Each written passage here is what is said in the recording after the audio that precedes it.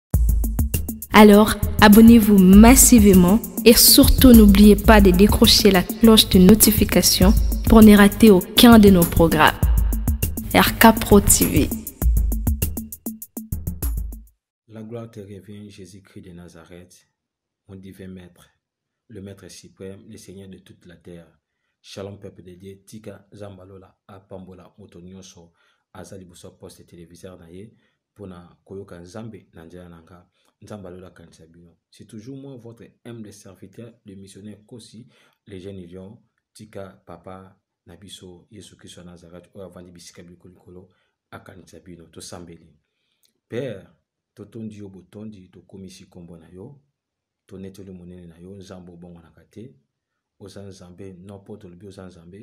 oza nzambe wuta mokili nano esalamaka te si ozala nzambe na recommande peuple na yo na loboko na yo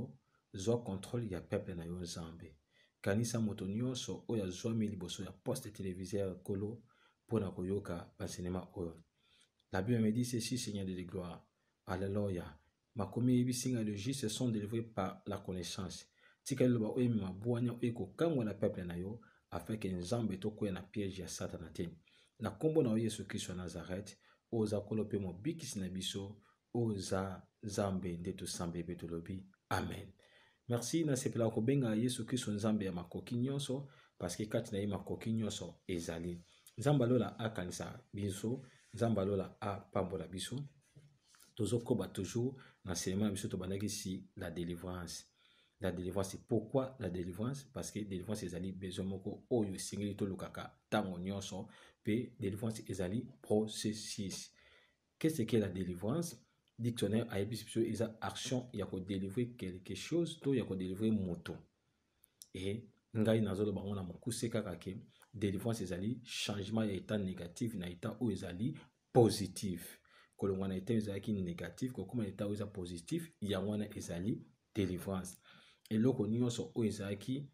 eh, négative mpo na yo ntango ekomi positif ozwi délivrance ya likambo wana moto akoki kozwa délivrance ya classe na ye azalaki na classe moko inférieure akomi na classe moko supérieure azwi délivrance par rapport ya ya, ya, ya, ya, ya komata oyo ya mati c'est ça la délivrance etant moto adouble azwi délivrance te par rapport ya betide na ye moto ntango azalaki na cinquième des humanités ntango okomi na sixième eseke azwi délivrance na classe oyo ezalaki inférieure ake na classe oyo ekomi supérieure par rapport ya baexamen oyo asali ndenge moko mpe biso bato toza na mposa ya délivrance kati na bomoi na biso vendredi passé totalisaki biso na lisolo moko na mokanda na Acte chapitre 16 na verset na yango 16 jusqu'à 19 verset tomoni wapi esika bazolobela lisolo ya mwasi moko oyo azalaki na esprit ya piton oyo bato batiaki ye esprit wana baintronisaki ye force wana afin ke mwasi oyo asakolaka mpo na bato mosusu babenefisiaka na profit na ye sans ke mwasi wana ayeba ke batiaki ye esprit nabaki l'homme moto aza image ya nzambe ma azotombe victime ya satana nzambe ntango asalaki moto atiaki divinité kati na moto aplasaki bonzambe na ye kati na moto apesaki moto makoki ya komaîtrise makoki ya kosigere makoki ya koreproduire nzambe apesaki moto makoki wana na kati ya jardin Adam azalaki na makoki ya ko maîtriser quel que soit force ya lion, quel que soit colère ya lion, quel que soit oh, eh, hippopotame, quel que soit nyama nyonso toyebi aza très colérique. Nzambe apesaki moto makoki wana parce que kati na moto kibonzambe nde moto bandeki korenye. Adam azalaki na kibonzambe kati na ye, me a cause ya peche, a cause ya kotika litoi epai ya mwasi na ye Eve, Eve atikaki litoi epai na serpent, eh, Eve azalaki seduit na maloba serpent, bongo Adam mpe azalaki seduit na maloba ya Eve, e vie na bango ebabaki, lelo ememi complication na kati ya bomoi na biso. tala ntina tokoma lelo victime ya satana moto akomi victime ya satana a cause ya péché moko euh, euh, esalamaki na jardin d'eden péché adamique esalamaki na jardin d'eden lelo ememi victime ememi bacause moko maléfique na bavie ya bato nzambe asali biso na image na ye mpe na ressemblance na ye me lelo moto azo reflete image ya nzambe te pourkui parce que moto azo tombe victime ya satana ya makambo oyo satana azosala na vie ya bato na acte 16 wana toteyaki vendredi passé nzambe plutôt apotre paul achassaki esprit impire na nzoto ya mwasi oyo e mwasi oyo azalaki delivre moto azotombe victime ya satana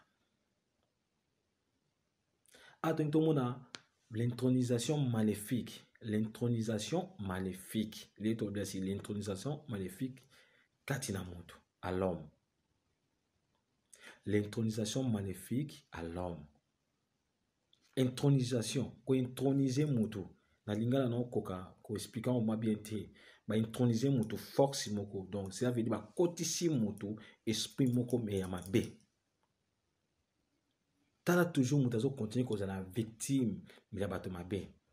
bato mingi tozomona bafu na nzela bato mingi tozomona lelo aza liboma bato nyonso te basimbi kisi bien aimé de le seigneur misu batombe victime ya bato ya mabe ya famille mosusu akoza babien oyo tata na bango atika akoza babien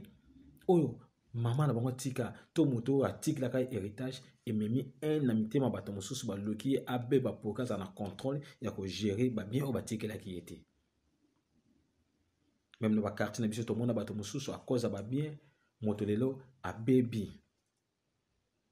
moto akomi victime ya satana pourquoi parce que mokili esepeli te moto agere moto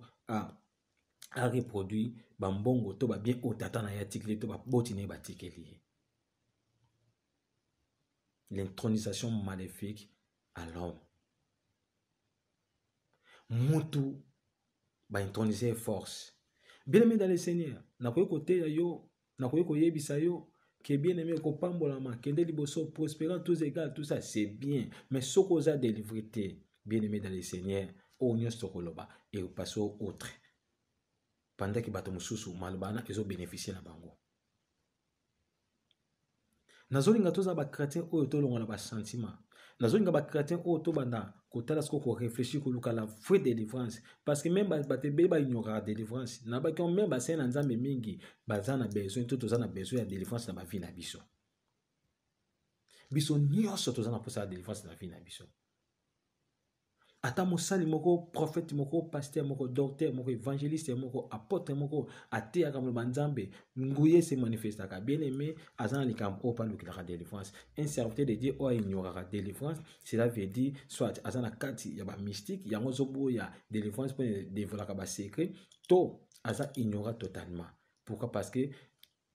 apôtre paul moto ayaki na vandisaki moboko to doctrine ya église Apotre Paul un jour abi miserable que je suis qui me délivrera de cette, de cette corps du péché. Azoluka nana ko kangola ina nzoto oyo. Apotre Paul aluka délivrance. Moto oyo afandisi moboko. Afandisi doctrine.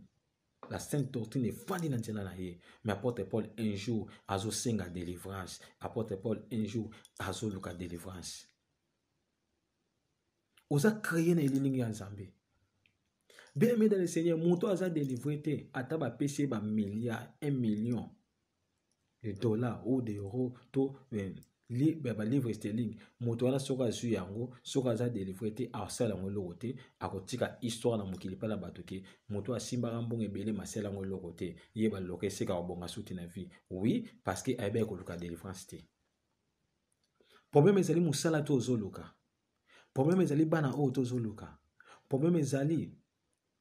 délivrance nde feya na vie na opoke ebenda oyo nyonso ozoluka délivrance eza cle oyo efongolaka moto biloko oyo moto azalaki nango te ntango nazoluka bana soki naza délivre te na esprit ya, ya sternité eke baplaça esprit moko boye oyo baintronisa kati na ngai ememela nga ezokomisa nga victime bien aimé ata omoni ba gynécologue ata basali yo ba hydro ata basali yo nyonso bakoki kosala yo baminganga okoti na bapareil moza très sophistique oke batraitement na swisse oke batraitement na bamboka oyo médecine efanda bien aimé bakotika kolonga te pourquoi parce que eza likambo ya bamédecin basimba yo te mais eza likambo ya médecin par excellence jésus christ de nazareth asimba yo et à travers la délivrance nde ozwi ozoluka Voilà raison pour laquelle toza na posa ya délivrance. Un jour tosambela mpo na ndeko moko. Ndeko wana azalaki na problème. À chaque fois so asemi mbongo, ndenge mbongo esila na maboko ayebaka te. Or spirituellement batobola maboko na ye. moko lisusu tosambela mpo na ye maboko na ye batia yango bamatière fecale batia yango bakata na maboko na ye donc imaginez vous moto asimbi mbongo maboko na eza sali te mbongo ane kotache bakolia mbongo wana te mbaa mosusu kocomprendre te melinga yebiso nini monde physique oyo tozovivre eza na retard mais monde spirituel eza na avance koleka monde physique oyo tozovivre parce que monde spirituel eza na avance ya makasi koleka mais monde Physique oyo tozo vivre eza na retard. Mokili ya molili ekendaka mbangu. Meme benediction, meme bitumba, nyonso ezalaka spiritualise. Benediction ebandi kozala noko kozala spirituel. Voilà raison pour laquelle Abbé dit ceci. Dieu nous a bénis de toutes sortes de bénédictions spirituelles dans les lieux célestes en Jésus-Christ. meme lipamboli mpo tosimba yango ebanda na kozala na ndenge ya molimo donc cela veut dire quoi soki nzambe adelivre yango te tokozwa yango te na bomoto boye voilà raison pour laquelle toza koteya biso si la délivrance baintronisa bato mosusu puissance moko oyo moto yango amiyebaka te Na mokanda na Matthieu, na mokanda na Marc, chapitre 5, verset 5 à, je, je m'excuse, na mokanda na Marc, chapitre 5, verset premier jusqu'à cinquième verset tozomona lisolo ya moto moko babenge demoniaka gadara bible elobi nini bible elobi boye yesu akati na ngambo mosusu ya mboka oyo babengi gadaranienne na boye ntango yesu azobima na kati ya bwato amoni moto moko azalaki posede abimi na kati ya cimetière na esprit moko ezalaki impire e moto yango azwaki evandelo na kati ya batombo bongo moto moko te abandaki koka kokanga ye ata basinga ata na mabende abandaki koka koka kokanga ye basinga te na makolo e ntango nyonso bakangi makila basinga abandaki kokata basinga yango bazotalisa biso lisolo ya moto moko na Marc chapitre 5 verset 1 à 5e verset bazotalisa biso lisolo ya ndeko moko moto wana akomaki lokola moto ya liboma avandaka na cimetière abandaki kolala na kati ya batombo bible elobi moto oyo bandaki kokanga ye basinga ebandaki kosimba te banda ozwa meme babarre de fer bakangi ye ata bakangi na maboko akangi na makolo soki asali boye akati yango pourquoi parce que esprit oyo baintronisaki edotaki ye na force moko maléfique oyo azokata meme bibende moto oyo azalaki na makoki ya kokata bibende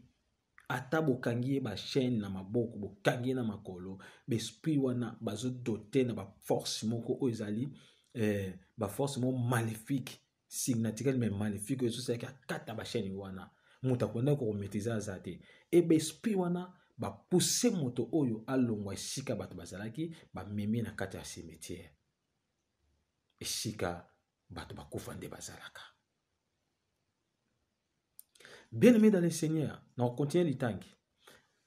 Bato mingi bazo tombe pe victime ya ba esprit oyo ba intronisa bango. Bapesi biso cause ndeko oyo ase retrouvaki na cimetière te. Bapesi biso cause te nini esalaki ke ndeko oyo akoma na esprit oyo. mais bible ezotalisa biso babandaki kokanga ye bachaine cela veut dire ntango esprit wana bandeki kose manifeste bamoni ke ndeko na biso bandeki kobela motu ebouge bazoluka bamaîtrise bazoluka balie bazoluka bakanga ye basinga bazoluka akweya na bapiège te bien aimé bazalaki na mposa ya ndeko na bango me baesprit wana oyeseke yo fo tolongola yo pembeni na bato fo tomemo pembeni tokoto na kati ya simetiere esika bato bakufa nde bazalaka ndeko a trouver demeure na ye esika na ye azwi evandelo na ye na kati ya cimetière tala esprit baintronisaka bato okoki kochange motu ekodelokalize motu esika moto azalaka bapesi ye esika oyo moto akanisa te na kati ya vie na ye bible elobi ata bakangi ye bachaine ata bakangi ye basinga soki asali boye akati yango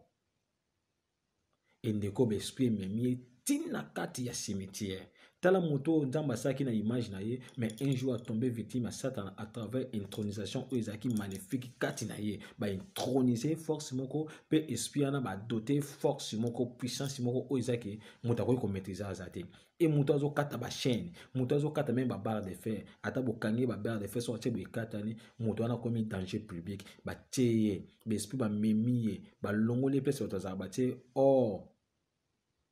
ya bato or de nuit batye place oyo ezalaki azala ye moko azala isole moto akomi victime bible elobi ete un jour yesu aye na mboka gadara ntango azokita ngambo mpo akende bible elobi moto wana oyo azalaki na esprit mpe kati na ye ase presente liboso ya jésus oyo moto andaki kokomaîtrise te moto oyo mbala mosusu esika wana na cimetière bato bande banga koleka parce que eza na moto moko aza na esprit moko baintronisa ntango amoni jésus moto aye abimi mpo amenase yesu bible elobi ntango akomi liboso ya yesu na 5 balobi nini il était 116 nuit et jour dans le sépulcre et dans les montagnes cria et se mertit avec des pierres baesprit wana oyo baintronisaki ye etikaki ye kaka bongo te balobi abandaki koganga azalaki butu moi na kati ya tombo mpe likolo ya ngomba abandaki koganga butu mpe moi bongo baesprit wana abandaki kopuse ye amizokisaka na libanga donc moto azosala makambo indépendamment ya volonté na ye moto oyo aza intronise na force moko bien aimé dans le seigneur asalaka makambo sans ke yalinga donc ata bie na fai na nga boye nakoloba nange eloko te soki esprit na se ganga aza na sho ata abandi koganga basukisi koganga te babisi zwa sikoyo libanga ya, ya, ya mino makasi banda komizokisa abandi komizokisa komikata abandi komikata abandi komikata bapota abandi komikata bapota abandi komikata bapota pourquoi parce que esprit wana nde ezopuse ye amikataka bapota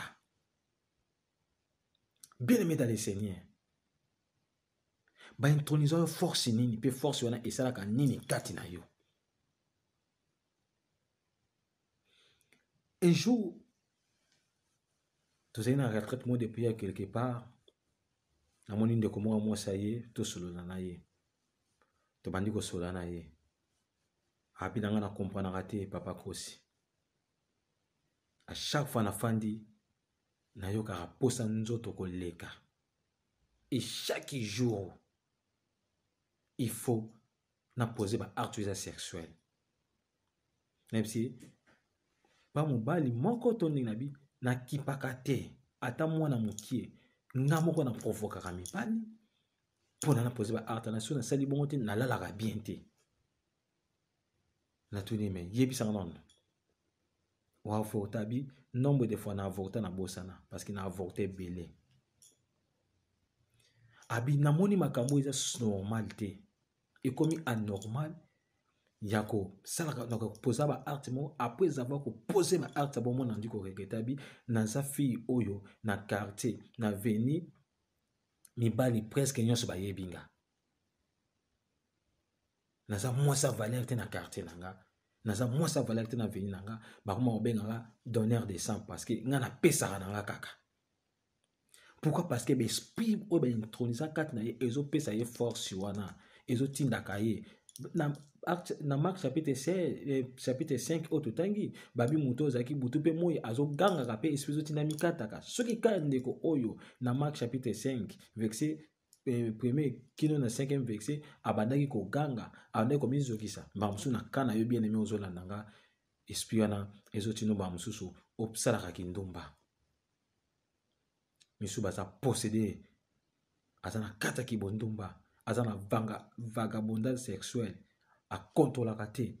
aza na histoire ebele na vie na ye soki akangi miso aza na bakombo ebele na vie na ye oyo azalaki ya ye jean azalaki ya ye yayebi ke alfred azalaki ya ye yayebi kuna william azalaki ya ye donc soki andi kotanga bakombo akosala liste ya bakombo ya bato abima misusu kuta abosana pourkui parce que esprit moko nde motu ezotungisa bien aime c'est le temps ya koluka délivrance nzambe abimisi loba oyo pamba te demoniaka gadara azalaki moto ayebi te makambo nini esalamelaka ye ye amonaka kaka abimi akomi na ngomba abandi koganga amonaka kaka alukili bayanga abandi komizokisa abandi komizokisa abandi komizokisa abandi komizokisa sanke ayeba ata abi avanda kimia avanda kimia te pourquoi parce que aza baintonise ye force moko mpe baposede na esprit moko ezopousse ye asala makambo oyo elongo bani te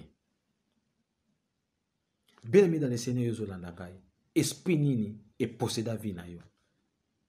baintronise yo force nini oyo ezalaka contrôle ya vie na yo oyo ezalaka contrôle ya bana na yo oyo ezalaka contrôle ya mobali na yo Combien de basi lelo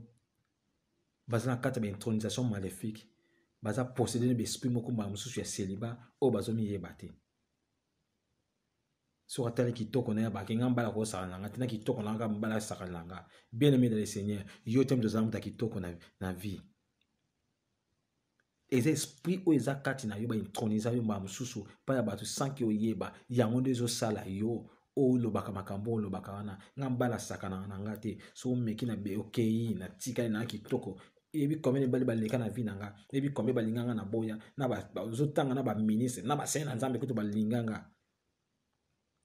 mais réaliser kitoko nde ezoservi yo na eloko te elingi nayebisa yo mpe ndeko libala ezalaka mpona kitoko te soki libala ezali kaka mpona kitoko nde bato mosusu toyebi nde babala bango te parce que na eh, aspect physique bomba mosusu eza kitoko te yo oza kitoko combien de basi oyo baza kitoko lelo bazotraine na banzela baza mibali te misu babikomisi respect ya mwa ntango moke mpo nini choix eza susu te age ezokende azokola mwana mwana te ale aza susu na choix te abino mikomisa kaka respect mbala mosusu na tante chance kaka mpo vie ezoke yango te bien aime talatala ekosi yo kitoka bomona esilaka eza nzembo alanga nzembo moko ayemba okomokonosi okozwa miroir otali boye baride bandi oza kitoko toboyi te me baride mpo obima bien fo tya makeup pourquoi parce que ba intronisation esprit moko boye ya celibat oyo yo ozomona kaka mibali nyonso yango te bato misusu basi misusu baza minoko ayebi kososola mobali okondima te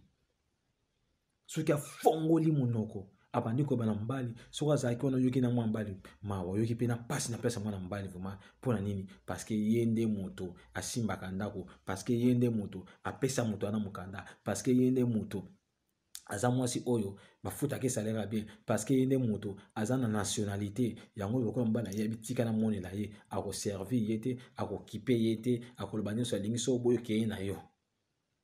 obimisi kombe deja beneme mbala mosusu ezalaka esprit oyo baposeda yo sanke oyeba baintronise esprit wana sanke yo oyeba ezopusa osala makambo okanisi te ntango ovanda mwa kalisi me ah makambo nini osala atikala masolo kaka grand masque amobali moko malamu me ah nasala nini yo mpe otiaki monoko monoko nini atiaki ye mpe andako ocomprendre nga te yo olingi kaka bacomprenaka yo yo mokoni okocomprendre tellement oza possédé bien aimé dans le seigneur okolukaka kaka raison moto aza possédé alukaka kaka raison meme esika aza na tort parce que parce que eza esprit Demonia kagada oyo ntango azoganga azomona wi eza nango normal eza vie normal bayebi ke deja motu moko soki makelele baninda nango wana kasi demoniake moto agoganga ti mpo azala wana na cimetiere moto azoganga ekomi nango normal soki abandi ne abandi koganga mokili mobima ezoyoka moto azoganga soki asisi oyo azali komikata abandi komizokisa or baesprit ndembo aza koimpose asalaka makambo oyo elongo bani te bien aimé dans le seigneur esprit nini eposeda vi na yo bible elobi bapesi bakita na moto me ntango amoni yesu na mosika bandi kokima ah, nzambe alola azwa lokomo nzambe alola azwa lokomo na sisi babini ayant vu jésus de loin il coura et se prosterna devant lui ntango amoni yesu na mosika abandi kokima mpo abenanse yesu me ntango apusani pembeni afukami liboso ya yesu alors la bible dit ceci tout genou fléchira et toute langue confessera que jésus christ de nazareth est seigneur voilà raison pour laquelle fallait motu oyo afukama abanda koloba makambo abanda koconfesse na, na, na sete alobi nini il cria d'une voix forte qui est-il entre toi et moi fils de dieu très haut nini yango ezali entre yo na nga mwana nzambe oyo avandi bisika bileki likolo jésus christ de nazareth avandi bisika bileki likolo azomaîtrise force nyonso soki moto satana abotelaki autorité ezali kati na ye yesu kristo ya nazareth azali na autorité wana kati na ye nazoyebisa mokristo moko soki oaccepta kristo na bomoi na yo ekotikela ye champ libre otikela ye adondwaka na vie na yo akozongisela yo autorité wana mpe azongisili yo deja na moto azotambola ndenge nzambe azolingela na moto azondima loba oyo nzambe esi azongisili autorité wana ke milimu mabe esengeli fukama liboso ya nkombo na yesu eza kati na yo bakofukama liboso na yo pourkui parce que yo oza korepresente nzambe mpamba te ozalaki kreye na image ya nzambe yango moto moko te akoki kovictimize yo moto moko te akoki koloka yo obanda aposede esprit na yo aposede esprit na yo aposede corps na yo aposede ame na yo pourkui parce que oza ya nzambe moto afukami liboso ya yesu yesu atuni ye nkombo na yo nani yesu azotuna probleme ezotungisa lelo nkombo na yango nini moto moto oyo ngai nakasi yako kopesa nkombo ne soit nkombo na ngai jacques soit nkombo na ngai manase soit nkombo na ngai ephraim me moto abi nkombo na ngai legion lajo elakisi ke toza ebele na kopesa yo nkombo te mpo so napesi yo nkombo manase espace elebe ezalaka kati yanga mpe kodeklare napesa mpe nkombo na ye esprit blocage mpe ezalaka kati yanga ekodeklare napesa nkombo na ye esprit ya, ya, ya pauvreté mpe ezalaka kati yanga ekepesa na deklare ya stérilité mpe ezalaka mpe compte na yanga ekopesa napesa nkombo na ye yango na mokuse yesu nkombo na nga legend loko oza nzambe okocomprendre vrai nom na nga mpe okocomprendre esprit nini etungisaka nga bien aimé na le seigneur tala ndeko oyo moto moko me baesprit ebele poseda ye baintronisa yo force nini baintronisa yo force nini bato mingi baza na esprit oyo baintronisa bango epusa bango basala makambo oyo baolinga te me baosala yango na volonté na bango te moto abi nkombo na ngai legion aye liboso ya yesu na esprit ke asala yesu mabe or oh, nguya na ezalaki mokie abosanaki yesu kristo ya nazarete aza nzambe ya makoki nyonso aza na makoki ya komaîtrise baforce nyonso du mal aza na makoki ya komaîtrise makambo oyo bato bakoki komaîtrise te na vie aza na makoki ya komaîtrise mipepe na bandenge nyonso okoki koyila ata ye na bava moko eza contraire yesu kristo ya nazareth aza na makoki ya komaîtrise yango bien aimé dans le seigneur yesu kristo ya nazareth aza nzambe nzambe oyo alonga mpe bakotikala kolonga ye ata mokolo moko te le grand vainqueur de golgotha jésus christ de nazareth l'homme de galilée l'homme de 33 ans oyo aboulevexa mokili amaîtrisaka baesprit nyonso amaîtrisaka bacitation nyonso moto oyo ayaki na loyenge me akutani na moto oyo asukisaka bato ya loyenge yo esprit nini ezotungisa yo intronisation esprit nini ezotungisa vi na yo ata babina vana na ngai kimia bomoto so eyabi navanda nga kimia vaya na ye kimia me ntango esprit wana ekoya ayebisi ye yo ovanda kimia ngai napesi yo nzela tovanda kimia banda koganga akobanda koganga ekosuka kaka na koganga te bikosuka kaka na koganga te azwa libanga amizokisa abandi komizokisa pourquoi parce que esprit wana nde moto ezokomande ye azalaki deja possédé intronise na baforce moko oyo ezopousse asala makambo oyo eza na volonté na ye te aza na mposa koganga te mais esprit egangisi bien emo ozosala makambo oyo eza na volonté na yo te tala vi na yo tala vi na yo bato mingi a cause ya bavoyage combien mibali abimi na bango esika azali mpo kaka azwa dokima ya combien de mibali abimi na bango combien de basi abimi na bango ntango baintronise esprit wana osala makambo na volonté na yo te parce que okomi na se ya possession ya esprit wana okomi esclave ya moto apossede yo wana okosala makambo elongo bani te okosala makambo bato baokanisa te okosala makambo oyo ezosepelisa yo te mosali yango parce que esprit moko moto ezokomande yo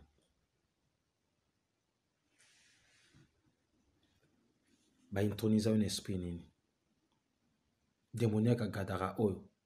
bachange ye nano endroit balongoli ye esika azalaki na ville bamemi na cimetière koto eza isole esprit na yo ntango ofandaka okanisaka nini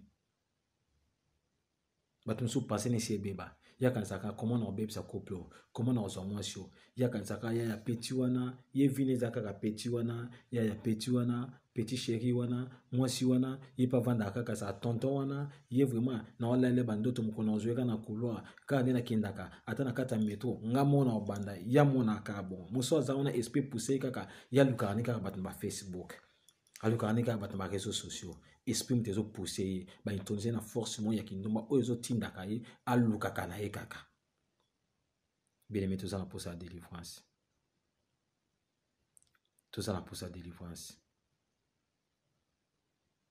yesu kristo ya nazareti asauve ngai na yo akutana ngai na yo ndenge demoniaka gadaka akutaki na yesu akutana mpe na ngai na yo mpo na tobika toza na mposa ya kobika toza na mposa ya kobika bien aime esprit nini baintronisa yo esprit nini batya kati na yo ekoma sikoyo moto akoki kozala intronise na baesprit wana to batie esprit moko magnifique kati na bomoi na yo koma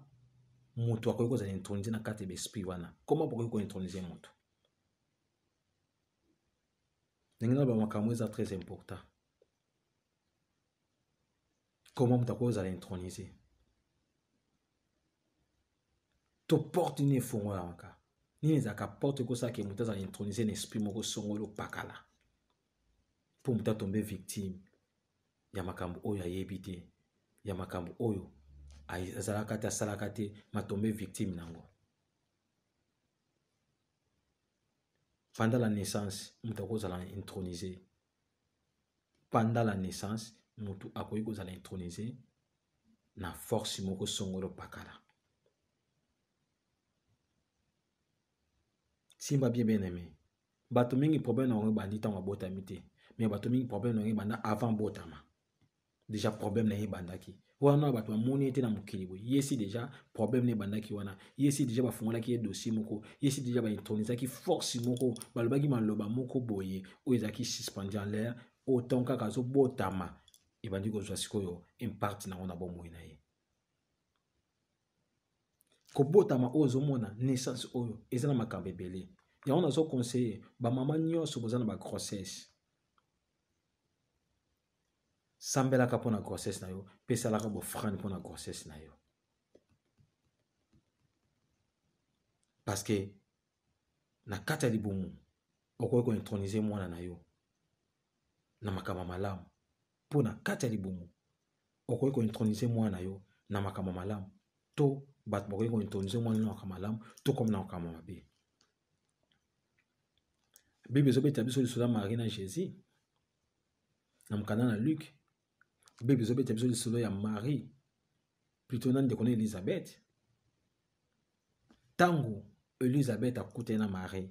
Bible elobi ntango bapesani mbote, bana na kati ya libongo baningani basali muvuma. Mbote ya Marie epai ya ndeko na Elizabeth eningisa Jean Baptiste na Jesus, bapesani bambote baningani. Spirituellement parlant, Yesu aintronisaki Jean Baptiste na esprit moko divin keke ekosala mission ya Tata. affecte ye yango jean baptiste azalaki incapable ya kofungola meme lace ya yesu mpona apesa ye bateme pourquoi parce que yesu kristo affectaki onction oyo jean baptiste soki abotamaki te soki abotamaki soki marie na elizabeth bapesani mbote te ma mosusu jean baptiste yange aza na pivo wana nge azalaki nango te mais à cause ya mbote jean baptiste azalaki intronise na kati ya libumu mais yo olingi kovanda te oza na grossesse kotambola wapi okota magasin mabe okende boye mabe omitiaka omifilma kotiaka na bareseau sociaux mabe bieneme soki oyebi grossesse ozomema eza entre la vie et la mort okosala mbala mosusu makambo osalaka te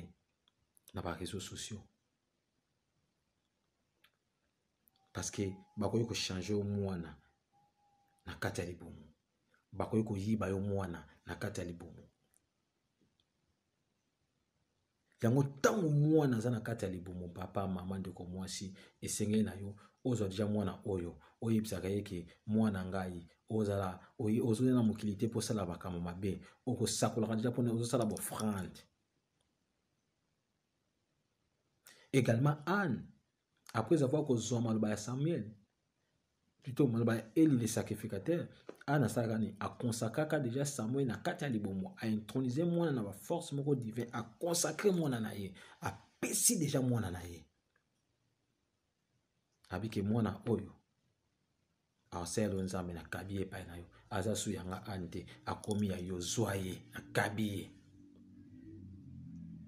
yango mona mpe bato mosusu ti abotama abotami na mvute pourquoi parce que ba arrière para bapara nde bakaba ye bakaba génération ke na descendance na biso bano bakoya bakosalela satana bakabi bango mba mosusu sikoyo yo obotama na obota okita na descendance oyo balakaka deja tala lelo ozotombe victime moto asala makambo ayebi na ye te so apose ba arte moko après oyoka moto abandi koluka kosijustifie ah, na comprendre te mpo nini nasalaki bongo so avandi ye moko ah, nini yango mesaka nga boye nini yango ezongisaka nga boye pourquoi parce que baintronise esprit kati na yo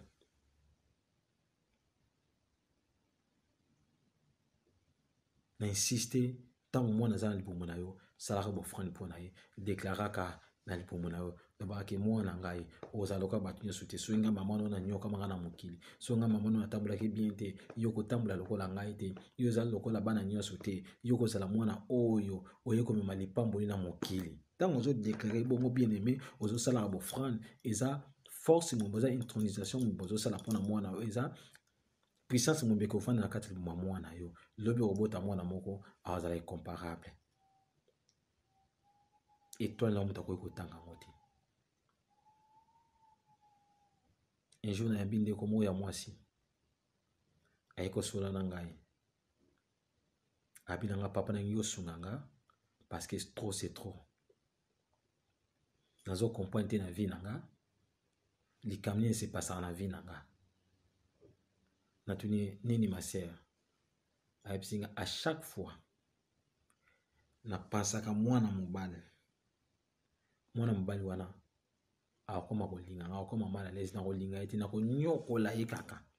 ata alingi nga ndenge nakolinga ye te me bambongo nini nakolia nyonso nakolia me nakolinga ye te abi meme na kati eglise na biso esambela meme bampaka na biso ya eglise na kanisa na sie na biso akomi mal à l'aise aluka nimero ya telefone abenga nga apesa nga ba rendez-vous azongisa boye akende boye azongisa boye ezosimba te abi me eloko oyo ngai nalukeli yo un jour napasaki na cousin na ngai ekuze na nga komi zoba na nga à tel point que tellement nazoboya ye ase retrouve na hôpital baozongisa ye mai na saint joseph natali na ndeko yango ya mwasi nazongi nsima nami na eskize nga masere oui nzambe asali yo bien mais nazomona nazalaki limite na nini ezosala yo bongo ntango na comprene na bino eza problème oyo eza spirituel abi cousin na nga azobela makasi nazo comprendre te esprit eza nini abi ata nalati na nga malonga te naotambola na keyaka batrouble na nzela nakoma kutu kobanga kozala na bacamarade soki toki esika moko na bacamarade eke moko ayaki na sheri na ye basheri na bango nyonso bakoma kotala nga nakoma komema confusion bakoma kotonga bakoma koloba nakoma kosepe nakoma isole bien aimé tala esprit baintonisa o place ekoki komema yo je vous dis des choses vraies ndeko wana ya mwasi aviva makambo wana kati na ye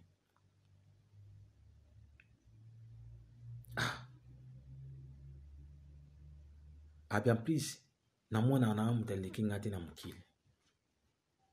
ata kuto bazwili ngai moto moko boye aza na bambongo mwasi moko boye ata lati ba or oh, ata lati ba diama na kingo na ye na mwana aleki na ngai te soki toke place moko boye bato bakotala ngai bakotala ye te api nazalaka sire naza na assurance na mpe naza sire na ngai moko na niveau moko oyo kokwaa na yango te bien aime tobandi kokɔta mabondeli mabondeli mabondeli un jour nabandi kosola na ye nalobi na ye ndoi na yo nkombo na ye nani apesi nga koma ndoyi na ye aseki tobandi kosambela nabi vi ya ndoyi na esuka ndenge nini abi ah bon vi na eza kaka bongo bongo a na basi bon natuni ye question moko mokolo botamaka nani asokolaka omuta liboso Ah bon, wana na otuna mama. Ake otuna mama na bango. Mama na bango yebisi no, ndoyi no mutasola ndo sokola. Oh, tongo ndoyi na bandaki kosokola ye. Ndenge andaki kotombola mai likolo na azosopela ye, abandaki koloba maloba. Bien aimé dans le Seigneur, sentiment ebomaka. sentiment ebomaka ndoyi azosokola ndoyi na ye me na kati ya kosokola ndoyi na ye aintronise force moko kati na ndoyi na ye oyo makambo oyo ya vivaka makambo oyo nde kosalamela ye ntango azalaki jeune fille yango mpe komosalamela ndoyi na ye yango na bi naissance ntango tobotamaka ntango ozokende maternité esengeli oprepare maternité na yo bien parce que bakoki kointronise mwana na yo na esprit moko oyo lobi akosalela yango badega moto ya liboso azoyamba mwana na yo femme sage wana azoyamba mwana na yo bien aimé azalaki nani ntango bayambaka yo ntango obotamaka moto ayambaka oyo azalaka nani oyo oh, nzambe afungola moto mo miso molimo alakisi ata mokolo oyo babotaka ye ayeba ata makambo nini esepasaka mokolo wana parceke makambo mingi elekaka na jour ba naissance na biso femme sage oyo ayambaka yo alobaka maloba nini azalaka nani mbala mosusu maloba oyo ya loba ezwa impakti moko na vi na yo sanke yo moko oyeba na maloba oyo ya loba ezwa impakti moko ekanga vi na yo tala ndeko oyo bayambaki ye nano fa message ya bato ebimi ni problème te matalisi biso kaka bafa message mpe bayambaka bato soki aza moto mabe akotanga etola mwana yo abebisi etola ayibi aintonise force parce que tomona bakana na bakati badelivrance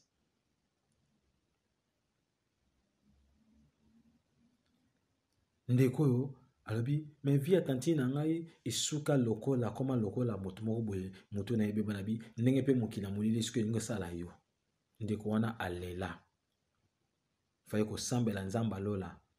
adelivre ye na force wana ezali kati na ye soki akanisi moto fo moto akoma zoba na ye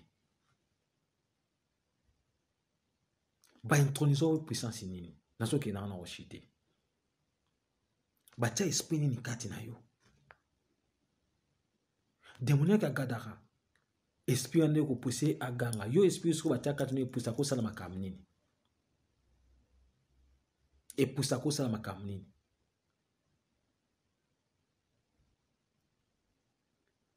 ndeko aleli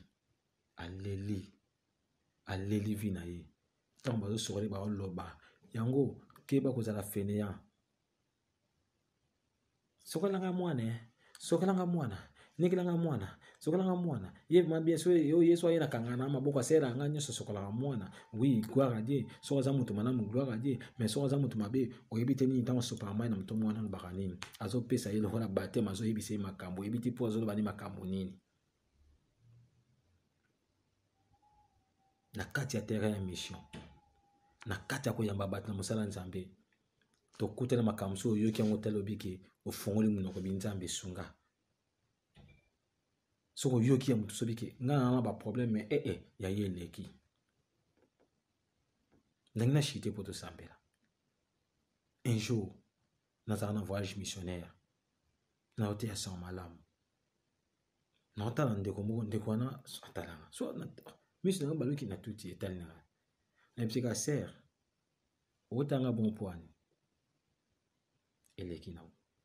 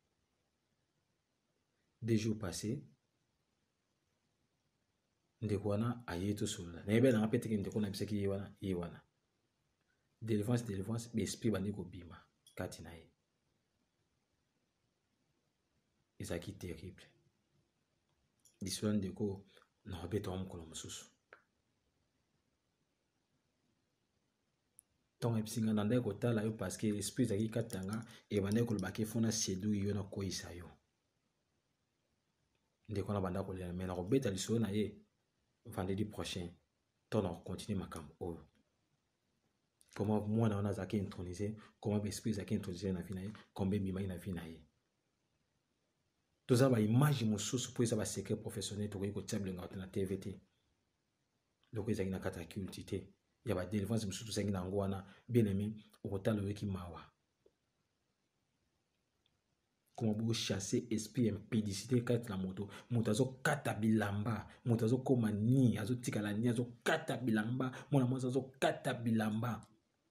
e baintronisa force frère mbala mosusu yo mpe otomba victime à cause ya bilingalinga mwasi oyo opasaka na ye rapport azalaki moto baintronisa force na badelivrance tomona bakana mingi oyoka serpent azobima serpent moto batya ye serpent soki kaka yo au passé na action na ye c'est pas na injecter venin vie na yo mobimba okomi kaka misu kaka boye olinga soki omona mwasi te bainjecte ba la vagabondance sexuelle mibali misusu bazalaka kimia te so amoni kaka apetya na mikolo Ah, kasi sere nani oleki na bango ayaki te ah, wana oza na turki ye moto ayaki wana oza na grèce ozali na afriki ye moto ayaki miso ekomi kamwe ah pito aza vrai chérie pito aza vrai chérie donc so omoni kaka ah, tantine tu sais na bafrançais ya lokota or oh, eza esprit mobimba ezopousse osala makambo wana nzambe aza na mposa na yo mpo na kosukisa na kati ya makambo oyo nyonso bible elobi demoniaka gadara apusani liboso ya yesu akwei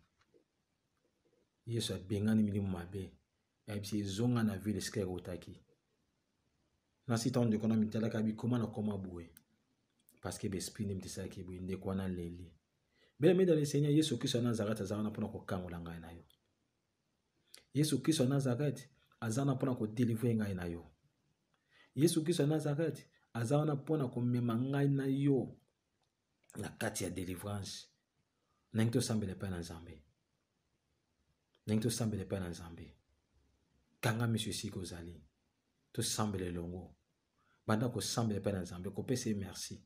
nzambe alobeli ngai na yo mateya oyo nzambe alingaki ngai na yo toyoka makambo oyo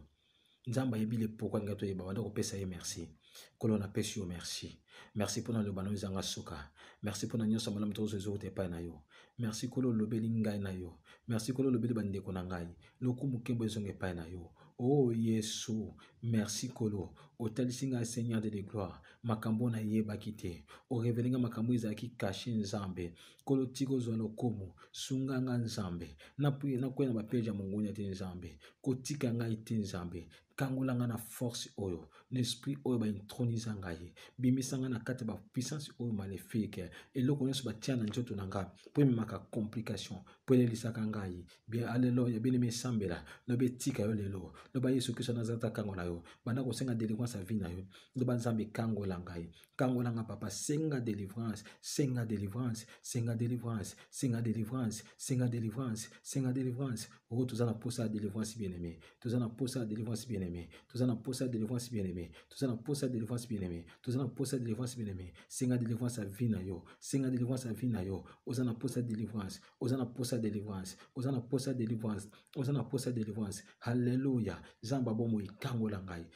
kangola ngai bien aimé sambela epai na nzambe sambela epai na nzambe loba na nzambe akangola yo loba na nzambe akangola yo banda kosenga molimo mosanto aya kovisite yo aleluya esprit nyonso nzambe te eza kati na yo etika yo sambela bien aimé sambela sambela sambela oza na posa ya delivrance ya vie na yo demoniaki agadaka abandaki koganga butu mpe moi abandaki kotika te abandaki komizokisa parceke baesprit ndenge otindi baesprit baotinda nini bengana molimo nyonso banda kotinda moto ya nzambe na nzoto na yo esprit nyonso evanda na nzoto na yo eyamba moto ya nzambe esprit nyonso efanda na nzoto na yo eyamba moto ya nzambe esprit nyonso efanda na nzoto na yo eyamba moto ya nzambe sambela moto ya nzambe ekita na corps na yo ekita na ame na yo ekita na esprit na yo ebanda kotumba esprit nyonso efanda esprit nyonso ekomplikaka vi na yo esprit nyonso eanvutaka yo sambela sambela sambela sambela mpo na naissance na yo loba moko nabotamaka soki ezalaki na bato basalaka nga baseremoni sanke nayeba soki ezalaki na moto asokolaka nga moto liboso moto ayamba nga moto liboso na maternité aintronise nga force moko lelo force wana ezika na moto ya nzambe bien-aimé sambela sambela esika ozali bien-aimé sambela esika ozali loba na yesu kristo nazalaki akangola yo sambela bien-aimé beta maboko sambela beta maboko sambela esprit wana etika yo esprit wana etika yo déclare yango la bible dit ceci c'est pour la liberté que christ nous a affranchi déclare liberté wana na bomoi na yo okangolama okangolama sambela bien aime sambela bien aime banda kosambela esprit wana etika yo esprit wana etika yo ezala mokolo botamaka aleluya sambela sambela sambela na nkombo na yesu kristo ya nazareti sambela au nom puissant de jésus christ de nazareth bien aime ntango naosambela boye tension moki mati ngai tokosambela bato mingi baoseretrouve lelo baseretrouve lelo sterile ma mosusu voile oyo olataka oyo olowaka baintronisaki force moko ekanga yo bana okosambela lelo soki eza na eloko moko balatisa yo oyo elamba moko sombaka meme na na magasin banvuta yango ntango olata ebebisa makambo na yo lelo moto ya nzambe etumba eloko nyonso baintronisa yo sambela mpa nzambe eloko nyonso baintronisa yo ezika na moto ya nzambe ezika na moto ya nzambe ezika na moto ya nzambe sambela moto na nzambe sambela moto na nzambe etumba eloko nyonso moyini satana semasi nyonso ya mabe semasi nyonso ya satana ezika na moto ya nzambe sambela moto na nzambe sambela moto na nzambe sambela moto na nzambe le feu devora le feu du saint esprit moto na nzambe etumba eloko nyonso baintonzanga ovoile moko nalataka ekanga mabota na nga lelo ezika moto na nzambe libere bana na yo esprit nyonso baintonizaka mpo e, emema yo na kati ya mabe oyo elamba molataka ya mvuta kosambela sambela sambela sambela sambela na nkombo na yesu kristo ya nazareth na nkombo na yesu kristo ya nazareth na nkombo na yesu kristo ya nazareth au nom puissant de jésus christ de nazareth père merci mpo na bolingo na likolo na biso nazondima ete nzambe ozokangola peuple na yo mpo bible eyebisi nga le chevalier est équipé pour la jour de la bataille mais la délivrance appartient à l'éternel oaccorde délivrance ya peuple na yo car les justes sont délivrés par la connaissance tika boyebi oyo efongola biso ekangola biso na nkombo na yesu kristo ya nazarete oyo aza kolo mpe mobikisi na biso Nzambe ya makoki nyonso nde tosambeli mpe tolobi amen. Tika Nzambe alola pambola yo bien aime, tika Nzambe alola pambola yo. Tokutani na mikolo ekoya, Nzambe akanisa yo. Oyo na osabonaki te, s'abonner, bo s'abonner massivement, abonnez-vous massivement, abonnez-vous massivement et tika Nzambe alola akanisa bato nyonso bozo partager ba message na biso. Tika Nzambe alola azongisela bino ebele, tokutani mbala ya sima. tika loboko ya nzambe elongo te na kati ya vie na yo n'hésitez pas appeler tokosolola tokosambela s'il y a des questions s'il y a des suggestions s'il y a des remarques benganga soki eza na contribution na yo epai na ngai likambo oyo songolo pakana na conseil benganga toza wana mpona koyoka baremarke toza wana mpona koyoka kozwa baencouragement na bino toza wana mpona koyoka oyo nyonso ya malamu koyebisa biso mpona mosala oyo eke liboso nzambe alola pambola bino tokutani mbala ya nsima bai Abonnez-vous sur RK Prod pour équilibrer votre vie programme consistant pour votre vie chrétienne. Campagne évangélique. Prédication. Prière.